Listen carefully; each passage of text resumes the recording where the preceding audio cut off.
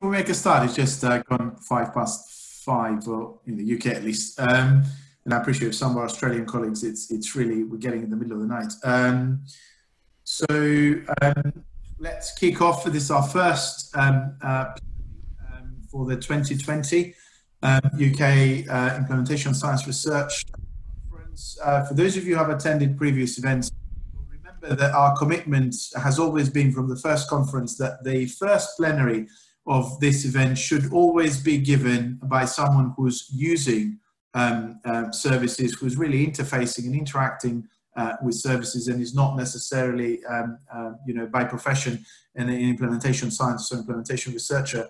And, and true to this, I'm, I'm really delighted to uh, introduce to all of you um, a colleague and uh, friend, Dave Taylor, um, who will open uh, well, these, the, the series of plenaries for this conference with his his plenary on uses and abuses of, of, of, of IT and will uh, revisit a lot of um, sort of implementation um, pitfalls and failures, but also successes um, in implementing IT solutions. Um, I've, I've had the pleasure of knowing Dave for a number of years and working with him for a while. Um, Dave is currently the vice chair of the Patients Association, which is a national charity um, in the United Kingdom, but also the patient lead for the Royal Society of Medicine in uh, the digital health Council the Royal Society of, of, of Medicine. Um, Dave has spent um, many years as, as an expert, so a senior professional in the space of developing and implementing um, IT and digital uh, interventions. Many of those years um, uh, we've had, um, I've had the luck of um, um, coinciding with him at Imperial College and Department of Surgery. Um, so that's where we've we've uh, met. So I think, uh, having spoken to um, about his uh, plenary, I think it's it's eminently relevant to the the sort of the, the, current crisis and sort of post-crisis recovery that we're all going through because of COVID, but also wider the wider environment of trying to implement successfully IT and digital um, interventions in healthcare. So without further ado, um, I'd like to, um, uh, I would normally say I'd like to invite Dave to um, uh, start, but I think what um, the format will require is us to launch um, the pre-recorded um, uh, plenary that uh, Dave has prepared, uh, and then we will take um, uh, questions, comments, and reflections from the audience uh, in in real time, live um, after the plenary is concluded, which will take about 30 minutes. So uh, I would suggest that we launch the plenary. And please do use the Q&A button, not the chat, but the Q&A button as questions and comments arise as we go through Dave's, um, uh, Dave's talk. So I will silence myself and if, uh, if we can launch uh, the video.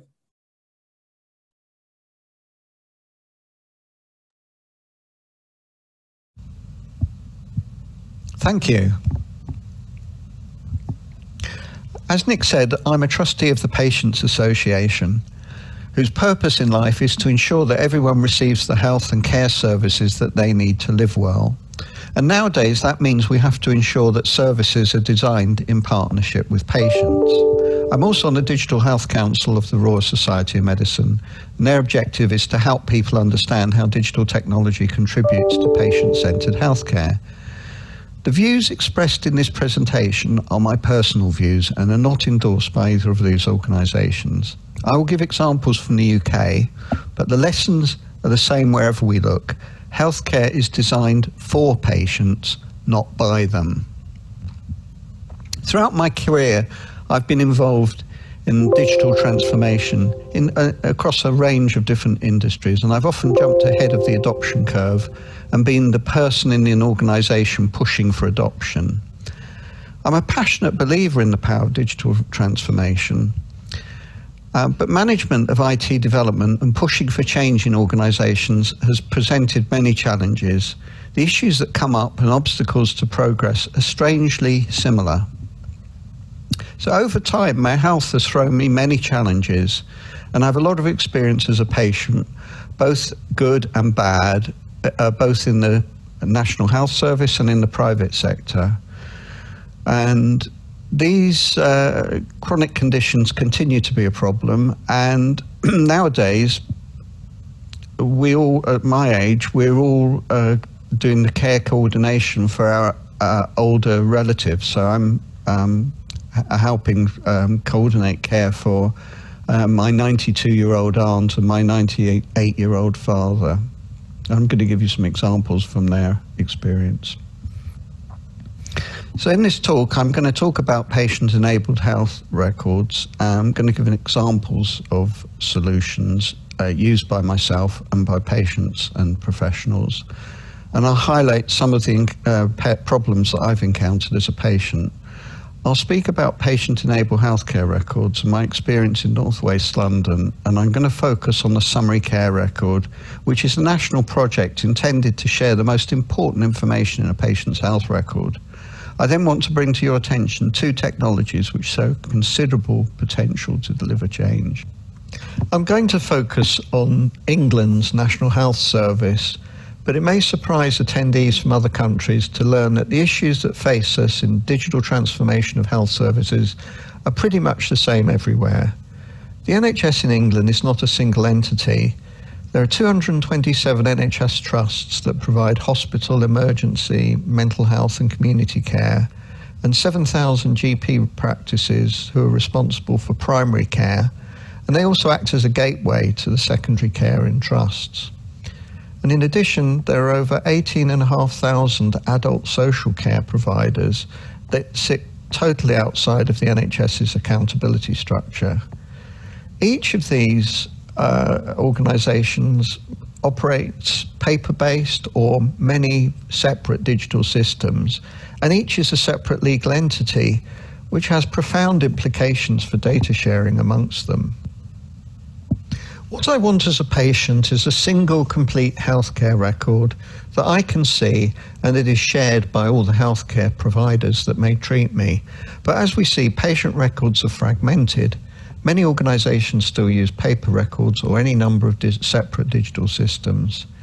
The NHS aspiration is to link these together regionally. There are already 14 such in, uh, information exchanges, and the NHS long term plan sets out that all regional exchanges should be in place by 2023, with some means of data exchange within and presumably also between them. The National Audit Office, whose remit is to examine public expenditure, recently reported on the NHS's state of readiness for digital transformation, and they found it lacking in several respects. In particular, this goal is more of an aspiration than a scoped and budgeted project, so in simple project management terms, it's not likely to happen. COVID has undoubtedly accelerated the use of digital healthcare systems of various kinds, but this type of project uh, linking linking systems together needs many organizations to coordinate with one another. And clearly there hasn't been time for that. Furthermore it needs patient involvement to ensure that the re- resulting systems are both usable and used. It's telling that in the report although there are 79 mentions of the word patient nowhere does it speak about this necessity for patient involvement in, in service design So, what does one of these regional information exchanges look like? Here's the patient portal for the Care Information Exchange, developed by the Imperial College Healthcare Trust for patients across northwest London. Uh, it's actually my patient record, and we're viewing, um, or we would be viewing, the results of a couple of x rays. Data flows from hospital systems across the region into this patient portal. I can get my test results directly and in many instances, I could also use it to communicate with my care team. Not only that, but if GPs subscribe to the service, then the patient can also see their primary care health record. And the GP practice will be able to directly access hospital appointments and test results and see reports emanating from the hospital care teams. Patients can also enter information from their fitness or healthcare devices and share them with their care team and as we know, this will become a growing source of healthcare information in the future. So, what's the catch? Well, uptake by hospitals and other institutions has been slow. I'm not dismayed by this, and I think the current pandemic will substantially accelerate adoption now some of the other barriers have been removed. So here you can see the adoption over time of uh, the system. Um, the northwest London population is about 2.4 million. And the, the exchange currently holds records for over 1.6 million patients. But today it's used by only 66,000 of them. As you can see, the system is not confined to patients in northwest London. The map on the left shows that they come from all over the UK. So those are the uh, that, that's where their primary care uh, GPs would be located. This system, as I said, was set up by the Imperial College uh, Healthcare Trust um, and itself responsible for several hospitals in the region. And they have over 1 million outpatient contacts per annum. But even here, the fragmentation of healthcare is evident. Within hospitals, individual care teams need to sign up their patients, or patients need to sign up themselves. Many teams weren't aware of the system, but patients began to become aware of the system at the end of 2018 using the check in kiosks in the outpatient departments. Only a fraction of the hospitals and teams within them are currently signed up, though. In the second quarter of 2020, there was a big mail shot to patients to get them to a list. And right now, as I say, we have 66,000 patients on the system. My GP practice holds a lot of my key medical information, and GPs have been reluctant to share their patient records with the system. Only 27 out of a total 400 GP practices have signed up, even though it's only a single click on their system console to enable it to push data to the exchange. Um, they, GPs seem to have an irrational concern that it will create work for them. My practice, for example, is completely oblivious to the fact that I get my hospital test results at the same time as they do. So I and most of the other patients on the system do not get access to our records held by primary care. And of course, when I'm treated at hospitals outside of the region, I wouldn't get sight of my records there either. As I said, I, I think this may begin to change now due to COVID. Uh, Imperial College Healthcare Trust from last month required all of its staff to register on the system in order to receive their own COVID test results. And there's also a plan to provide testing to GP practices and other hospitals across the region, which would immediately make them aware of the service. So I think there's considerable hope. So let's look now at GP held records and how patients like me can access them. There are two major systems accounting for most of the GP practices in the UK. But whether to allow patient, the patient's access is up to each practice. When you ha- have access, you can do all of these things online. Uh, view your medical record, manage appointments, request repeat medication, message the healthcare service, and there's even an app for that. Uh, recently, many have added online consultations, either in real time or delayed through the use of forms.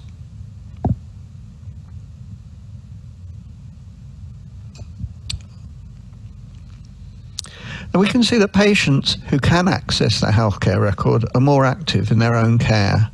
And as we know from several studies using the patient activation measure, that activated patients have better outcomes for example, between 40 to 60% of patients log into the Care Information Exchange every month.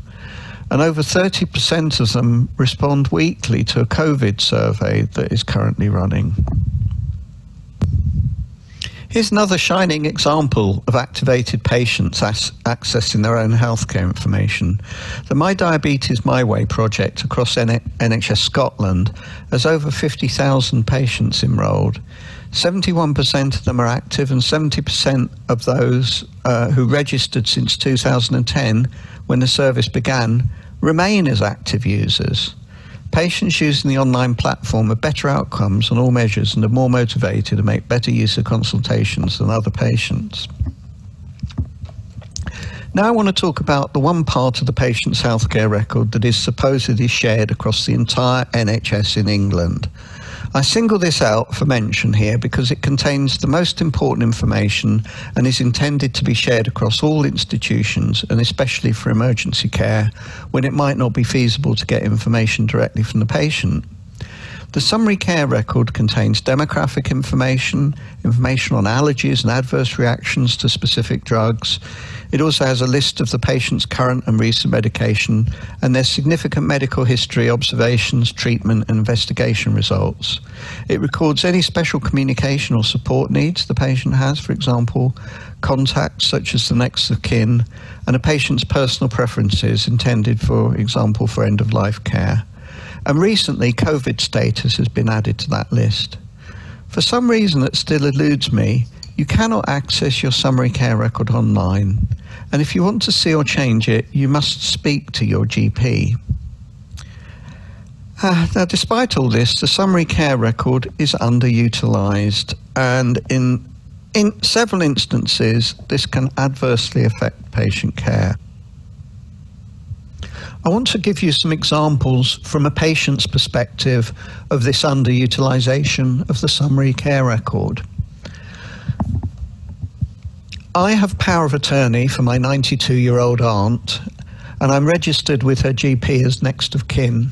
I know this because I went there to in person to register. Last year, she had several falls.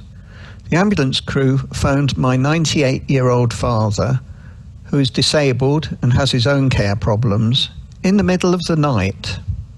He tried to answer their questions, including giving them incorrect information in an attempt to be helpful. My aunt was admitted to hospital for a UTI, where confusion is a symptom. When I visited her, I discovered that my deceased mother was recorded as her next of kin with my father's phone number. This had come from A&E who'd admitted her. I changed the next of kin contact in the ward and asked them to update the hospital record. This happened not once, but several times. I hadn't followed the NHS advice to speak to the GP if I wanted the summary care record updated, if that is indeed where the misinformation was coming from. Many patients complain about being asked the same questions over and over by different doctors. What the patient tells them is not necessarily reliable, as the next two examples will show. A caller to the Patients Association helpline gave us an example of where the summary care record was definitely correct but wasn't consulted. He was the carer for his wife, who has Alzheimer's, when she needed to be admitted to hospital. Staff asked his wife out of his earshot if she had any allergies. She said no. The summary care record listed an antibiotic allergy, but this wasn't checked. She was about to be given the antibiotic, but thankfully the husband intervened. He, like many others, called the helpline to ask what he could do to ensure that this doesn't happen to anyone else. Well, in 2019, my, my 98 year old father was referred by his GP to the hospital's vascular clinic who diagnosed very poor circulation in his legs.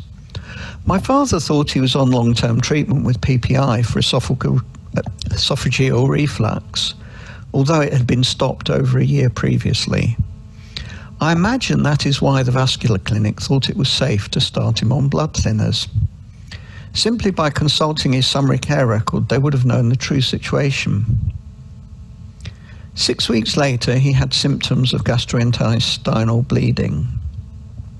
The GP directed him to A&E, and he was seen in the gastro clinic, who diagnosed esophageal ulceration.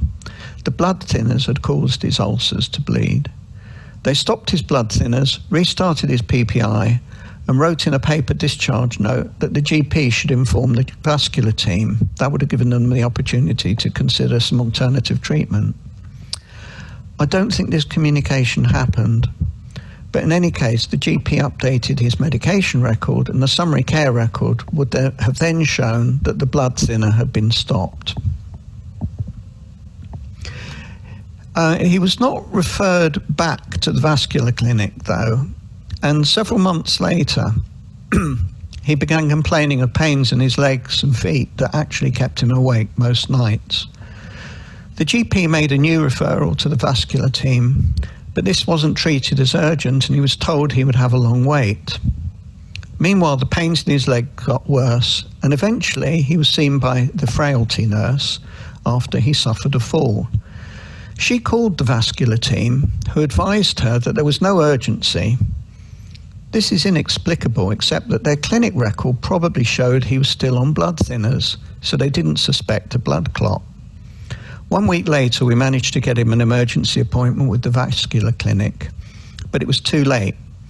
They found that the circulation in one leg was totally blocked by a blood clot, and two days later, his leg was amputated. I'm not implying that the amputation could have necessarily been avoided, but the straightforward and direct sharing of information via the summary care record would have ensured that the teams involved would have had the correct information in front of them at the time that they were taking decisions.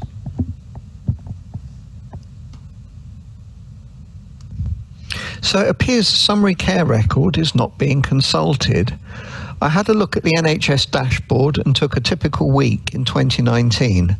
There were 2 million outpatient appointments, 325,000 hospital admissions, and 475,000 A&E attendances in that week alone, but only 163,000 summary care record lookups. That's less than 6% of the occasions when it could have been viewed.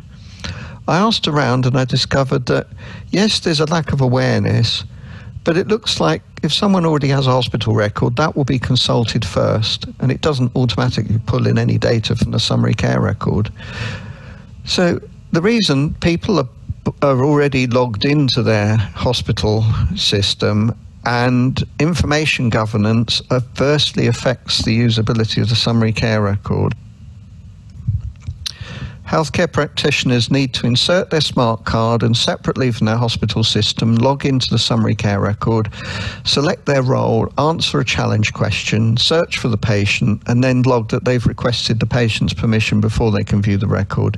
It's just several steps too many for information that just ought to be there. I mentioned earlier that GPs have control over allowing patients to access their record online. Well, GPs also have control over whether the summary care record contains just the bare bones information of allergies and current medications, or whether, in fact, the additional information, for example, on conditions and treatments, is included. However, on March the 20th, the Department of Health took extra powers to compel all of this information to be shared.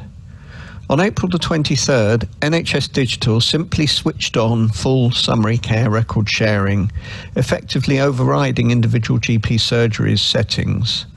They also made it possible for any primary care clinic, or indeed for the 111 service, to view any patient's GP record using an NHS digital service called GP Connect. This has made it possible for GP practices to flexibly collaborate during the pandemic and to provide extended hours services. NHS Digital made it clear, however, that these powers will only be used for the pandemic and have to be reviewed, renewed rather, on the 30th of September. Well, I, for one, sincerely hope that this override will outlive the pandemic and that the awareness and habitual use of the summary care record will grow as a result. So, what do patients think about healthcare record sharing? Well, most patients expect that healthcare workers treating them would have access to their record, and they are shocked when they discover that they don't. Most would happily share their data for research purposes, provided they're properly informed and consented. In fact, the more specific a researcher can be about the intended use, the more willing patients are to share. And most would also be happy to share data from their wearables or smartphone. And here's another use case where patients expect their data to be shared, but for information governance reasons, it is not. It's usually not possible for ambulance crews to discover the fate of the patients they hand over to hospital care, where clearly it would be in everyone's best interest if they could discover whether their diagnosis and immediate treatment was correct, and in fact how the patient whose life they may have just saved went on to recover. I'm grateful to Matthew Snowshill of St Bart's for bringing his project, named FEM Feedback, to my attention. They've shown how beneficial this information sharing can be. The Patients Association recently carried out a survey of the patient experience, asking what is it like to be a patient. When they asked what single thing would have made your experience better, the responses highlight the importance of a single shared comprehensive healthcare record under the patient's control. So that's what patients want. But the reality is quite different. The patient is not in control and often has to repeat important information over and over. Data is not necessarily correct or up to date, or simply not available when needed or visible to patients. And research opportunities are wasted because there are no easy ways of locating patients or advising them of the opportunities. It's also difficult for SMEs to develop clinical applications that can read or write to electronic healthcare records. So, how will we bring about true digital transformation? Future healthcare systems will run on data, but this data will be even more prolific and its collection could become even more fragmented than today. So let's imagine a world that eliminates silos of information controlled by multiple intermediaries, where for each of us there was an up to date, verifiable, real time record of every encounter we have ever had with a healthcare professional, where we could incorporate personal and lifestyle data, where the patient was ultimately in control of sharing this comprehensive record or aspects of it with researchers, where nevertheless clinical governance principles were followed where SMEs could easily read or write to a patient's record with straightforward authorization, and where in the future artificial agents could browse the data and make inferences that would assist in clinical decision making or to help us to take proactive measures to maintain good health. All of this while maintaining our ultimate right to privacy. Imagine that an entire ecosystem of software apps can be developed, tested on real data, and commercialized in a lightweight regulatory regime. Patients would remain in control of who gets to use their data, but they or the National Health Service would be rewarded through a micropayment system when their data leads to successful commercial exploitation. Is this a pipe dream? Well, let me change gears and tell you about a technology that could help to bring this about. Distributed ledger technology, more familiarly known as blockchain, is the technology behind Bitcoin. This is a form of collective bookkeeping via the internet that enables multiple parties who do not necessarily trust one another to reach a single record of truth Instead of an information exchange, illustrated here on the left as a central hub that needs to access multiple systems, the multiple systems together in a network maintain a single record of truth using irreversible cryptographic hashes. A complete patient record such as the one I described earlier, is extremely suited to this kind of treatment. It is a series of sequential events which over time involve multiple organizations. Later events often depend on earlier ones. Each transaction would describe the addition of a resource to the official patient record by an authorized person, with the resource itself, i.e., the substance of the health record, stored externally.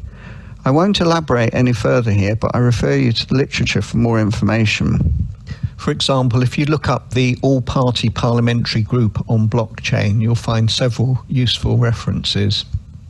One of the other benefits of this technology is that it helps with establishing data provenance.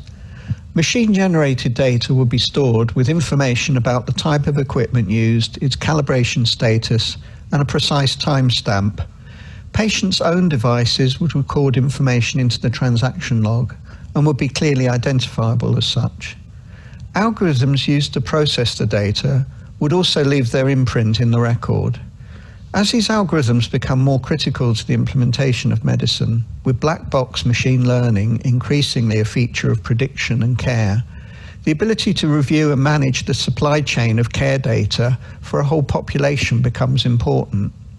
Otherwise, if an error is found in an algorithm used to make a diagnosis, how would you backtrack in order to identify everyone affected? Ahead of the availability of a vaccine against COVID, several countries, including those in the UK, are considering immunity or antibody certificates. These electronic or paper documents would certify your antibody status, i.e., that you've been tested and found to have antibodies. And the Centre for Data Ethics recently published a briefing note which drew a lot of attention. Both the Open University and the Alan Turing Institute have initiatives to develop these certificates in a privacy preserving way, and there are several other initiatives around the world. The Alan Turing Institute solution can be app or paper based, whereas the Open University's is purely online. It uses blockchain for privacy, and Tim Berners-Lee's uh, decentralized personal data platform. This is now being pursued by BT with the Royal Pharmaceutical Society and two technology companies. But on a note of caution, I also recommend that you take a look at these articles from Harvard Medical School and the Harvard Berkman Institute for Internet and Society. The authors maintain that restricting movement on the basis of biology threatens freedom, fairness, and public health. And the other technology I wanted to draw your attention to was augmented reality. The patient experience survey that the Patients Association undertook also told us, unsurprisingly, that being a patient is scary and frustrating. And for COVID patients, the experience of being cared for by a team of healthcare workers in full or partial PPE is especially frightening. So here is a technology to help with that. The Imperial College uh, Healthcare Trust used the Microsoft HoloLens, which is a computer worn on your head, which projects an image in front of you. Um, and th- this has led to a fall in the amount of time staff need to spend in high risk areas of up to 83%, and also just puts one professional in PPE in front of the patient. And the rest can be in the eh, in the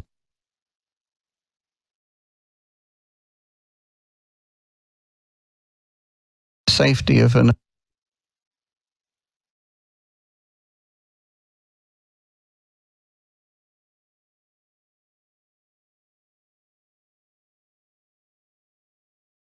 office environment. Uh,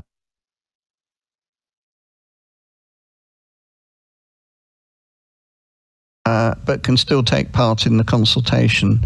It, it's significantly reducing the amount of PPE being used, as only the doctor wearing the headset has to dress up. Uh, early estimates sh- show that it's, saving uh, the Imperial College Trust 700 items of PPE per ward per week.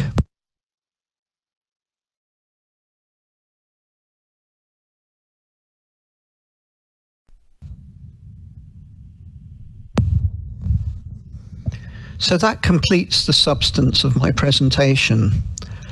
I've talked about the fragmentation of healthcare services with communication gaps between service providers that are all too apparent to patients, but perhaps not so clear to service providers. Many different teams are often involved in a single care pathway, and patients often experience several different care pathways in parallel. Somehow, these disparate organisations need to maintain a single record of truth. I've talked about patients' expectations of data sharing and how the reality falls very far short of this. In the future, data will become even more prolific, especially with the increasing availability of wearable and consumer devices and with genomics and metabonomics. And rather than stifling its use by information governance, we need to find ways to make it more accessible to data driven algorithms, but in a privacy preserving way. And I've discussed briefly how distributed ledger technology may come to be used in the data supply chain. So perhaps it's time to think not just about the technology, but also to examine the social contract regarding the sharing and use of personal data. I've talked about the power and underutilization of patient portals and the importance of the activated patient. And I talked about how the pandemic has increased the uptake of some of these digital first technologies but that this has happened at the single organisation or care team level and not at the systems level needed for true digital transformation. And my final and perhaps most important point is that systems need to be designed with patients and healthcare professionals, not for them. This is something that everyone talks about, but very few accomplish.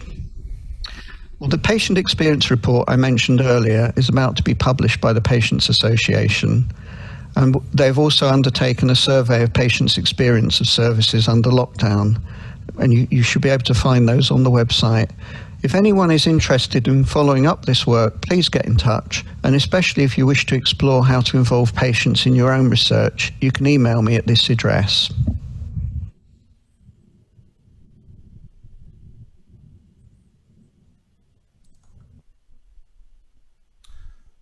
Excellent. Uh, so Dave, thank you uh, once again um, uh, for this talk. I mean, give to an audience of uh, implementation scientists um, in this sort of post-COVID crisis phase. Um, so I would encourage you to use the Q&A um, function at the bottom of your screen. Um, so do raise questions and comments there. We already have one um, by Greg Aarons. Uh, Greg, do you want to unmute your mic and, uh, and ask the question directly so Dave can comment?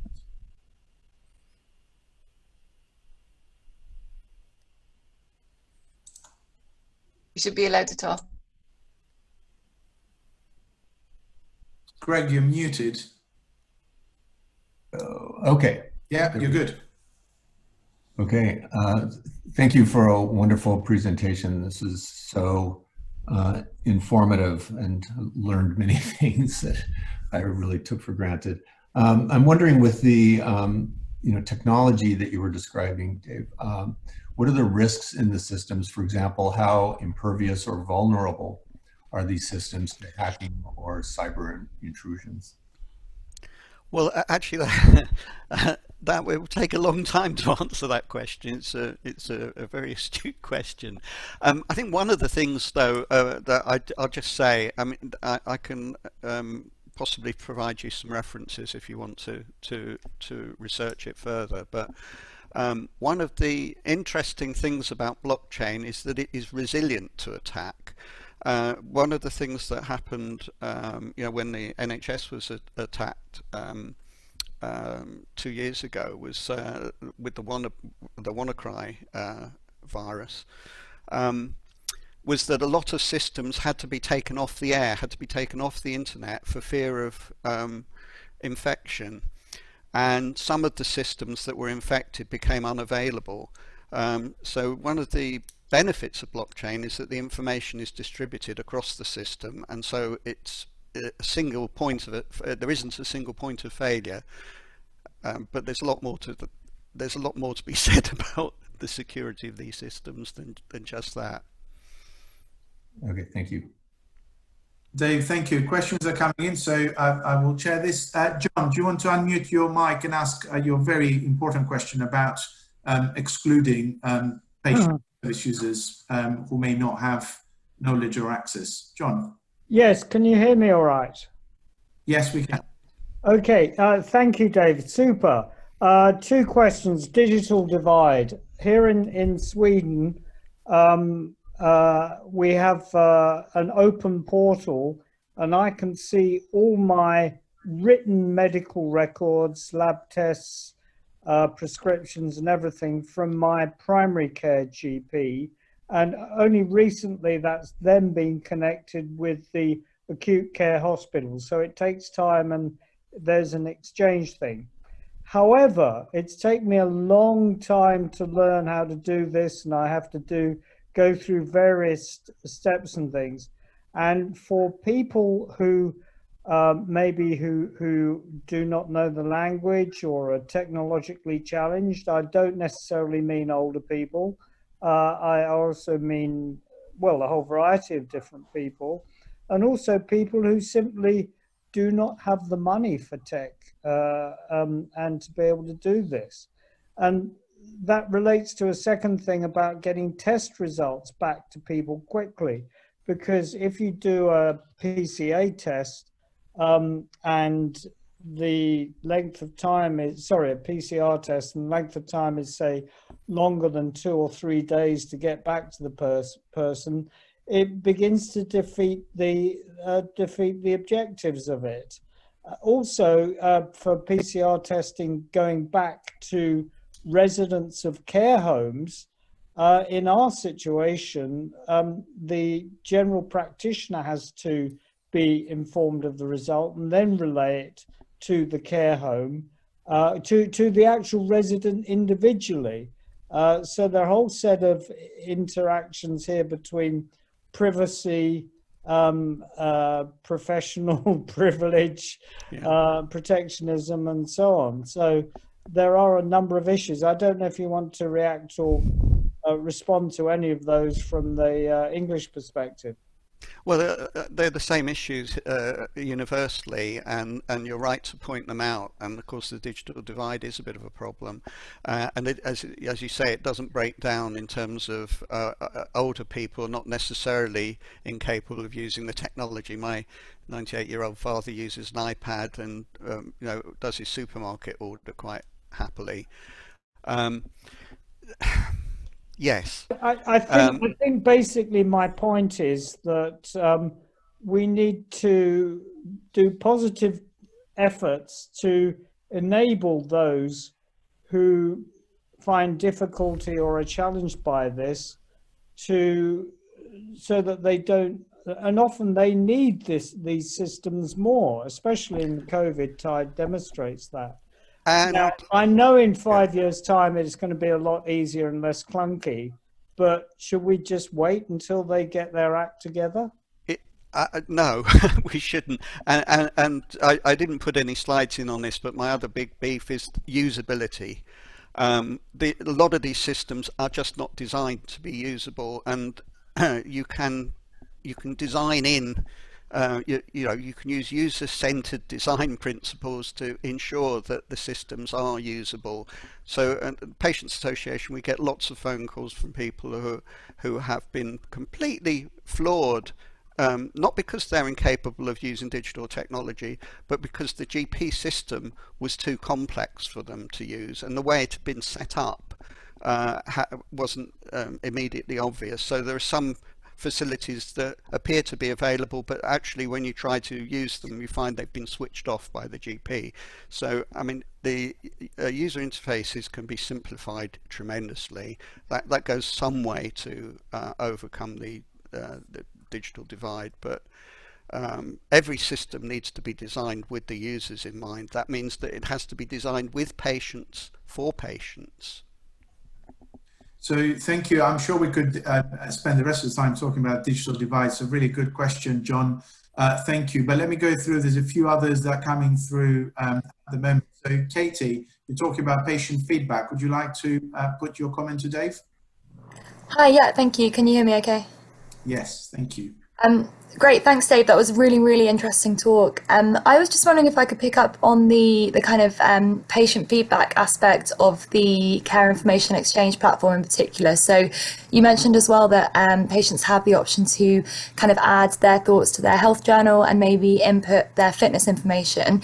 Um, I wondered whether there's been much work done on this and how this um, this um, aspect specifically uh, affects the kind of activated patient benefits that that people were seeing um, and whether this has any impact on the kind of efficiency of appointments and what clinicians think of that, um, and just kind of your personal views on that aspect of it.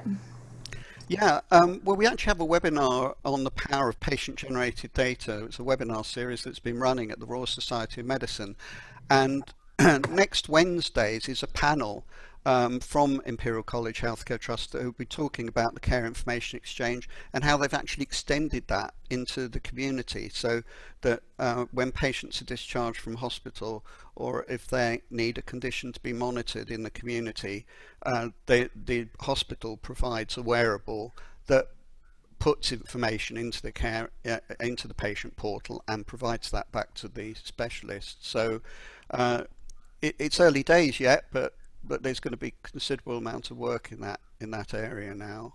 I mean, I'm an, I'm an optimist, and you see, there's only 66,000 patients using the system. There could could be there's 1.6 million re patient records in the system, so there's a lot of potential for uh, for in, you know for increasing use of the system. So it's still early days. So, Katie, thank you. A related question by, by Proker. Proker, would you like to uh, make a comment about behavior change, uh, particularly from um, um, the clinician side of things? You might be muted. I think I think he might have dropped out. I think his internet might be. Okay, I so can't find him. Well, I can convey the question because I think it's important. So Procor has picked up on some of your data, uh, Dave, that where 60% of the patients uh, were happy to share their data, only 30% of the um, clinicians were, and I think you're referring to GPs. And his question is, how do we change the mindsets um, of clinicians? And he's a surgeon himself. Oh, it was much less than that actually. It was I think it was 27 GP practices out of a potential 400 that Oh, had. Okay, so provide, that's 5% that- rather than 30%. yeah, that had given their patients access to the system. Um, I think by by demonstrating the usefulness of the system, I mean those GP practices that are using it uh, find that they can get access immediately to hospital records that they otherwise have to access through several steps. Um, and then also, um, I'm quite hopeful that as uh, GPs begin to use them, the system as patients themselves, they'll see the benefits. But um, Okay. So use, usage will increase, will show demonstrate the benefits of, of um, implementing those um, as, as yeah, strategy. Um, uh, I will we'll take another two minutes and then we need to break. So we have two more questions. Uh, one by Ramesh. Ramesh, Hello. Um, yeah, Yep. really interesting um, on on um, patient records. I was wondering if you could also give some thoughts on patient perspectives, making the implementation of digital mental health interventions. So things like um, guided computer programs or virtual reality. Given you mentioned augmented reality, I was wondering if you had any thoughts about patient involvement in that to make sure it meets patient needs.